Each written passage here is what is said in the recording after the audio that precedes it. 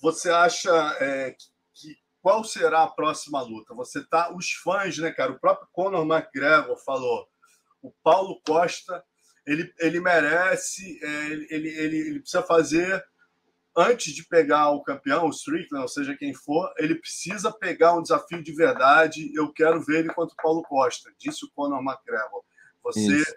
acredita que o UFC vai colocá-lo contra você ou você acha que vou jogar direto contra o Strickland? Alonso, é, muita coisa está acontecendo. O Shimaev também é, teve uma lesão na mão, é, no tendão do, da, da mão. Pelo menos quatro semanas, se não precisar de cirurgia. Se precisar, Pode colocar aí mais, mais seis semanas para voltar a treinar. É... Eu acho que, que eles vão remarcar essa luta.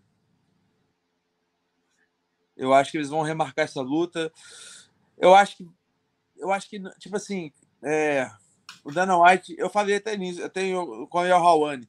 Eu não acho que o Dana White falou que o próximo vai ser pelo título com convicção. Eu acho que se a luta tivesse sido um lutão, uma ótima luta, ou o Shimaev tivesse arrebentado com o Usman, aí eu acho que ele ia colocar.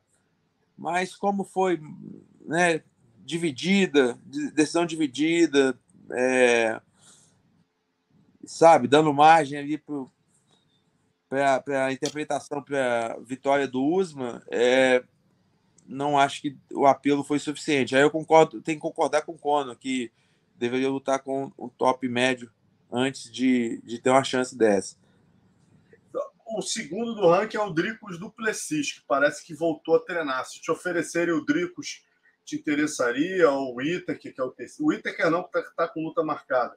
Mas o Duplessis talvez fizesse sentido. O Carlão, por exemplo, achava que eles te ofereceriam o Duplessis colocariam o Strickland contra o, o, o Shimaev. Te interessaria ou você vai forçar a barra para ser ou o title shot ou a luta com o Shimaev?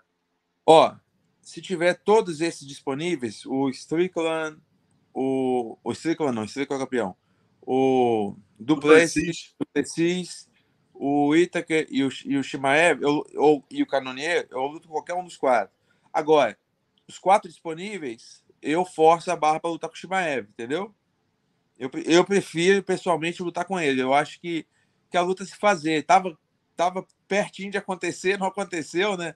Eu acho que merecia que acontecesse. Mas vamos ver, cara. É assim, tudo pode acontecer. Eu, eu tô o tempo todo aqui mandando mensagem pro Hunter, pro, pro Dana, falando com a Tamara, falando com, com o Tiki. A gente tá conversando o tempo todo, velho. Eu acho que depende muito aí das próximas duas semanas. A gente vai definir. Entendeu? É, meu gosto pessoal é lutar com o Shimaev. Mas se ele não puder, imagina aí que ele vai ficar fora dois meses, três meses. Então vamos ver, vamos ver o Ita, que vamos ver o Duplessis, o Duplessis, vamos ver o, o Canonier, qualquer um deles.